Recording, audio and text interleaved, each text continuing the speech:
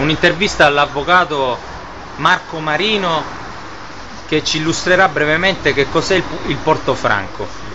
Il, Prego, avvocato. Il porto franco è il termine un po' volgare con quale si usa indicare il, invece il, il punto franco. Il, punto, il punto franco si intende un'area dello Stato italiano, soggetto dello Stato italiano, che per legge dello Stato italiano viene, viene eh, riconosciuto un, uno status di area extradoganale, ovvero appunto perché stiamo parlando di Porto Franco, le navi arrivano, sbarcano le loro merci, possono essere anche questo punto franco o porto franco in questo punto Porto Franco essere lavorate e poi imbarcate su altre navi senza alcuna tassa, senza essere soggetto a alcun Ci scusi dazio. avvocato un secondo, quali vantaggi ci sarebbero per i messinesi? È chiaro che un- un'area extra, quindi doganale, quale è appunto un punto franco, ovvero il porto franco, invoglierebbe molti imprenditori, anche e soprattutto stranieri, a investire in questa area, in- ovvero creando quindi attività di lavoro, per cui i- ci sarebbero un- migliaia di posti di lavoro per i lavoratori,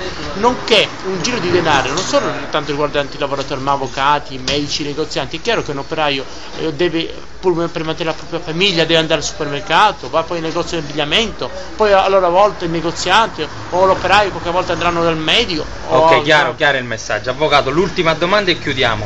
Perché il Porto Franco, istituito con la legge del 1951 numero 191, non è ancora operativo? Perché ancora, stranamente, dal 1951 il, de- il ministro dell'economia e finanze non ha ancora reso operativo con un semplice decreto. Chi è il ministro? Chi è? Attualmente è il ministro Tremonti, però non è questo, dal 51 ci sono stati vari ministri.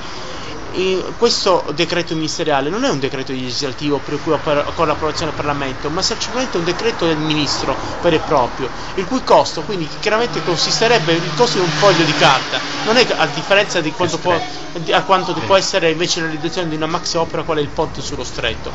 È chiaro che un'area del punto franco eh, non si dovrebbe ricordare soltanto all'area di Messina perché serve essere eh, piccola, ma ah, potrebbe essere anche estendersi a un'area come San Filippo Le Melle, il cui comune ha, ha deliberato la costruzione di 2 milioni di metri quadrati al- Ok. all'ente Un ringraziamento sull'articolo che verrà pubblicato sul giornalino Mondo Messina. Grazie all'avvocato Marino. Grazie a voi.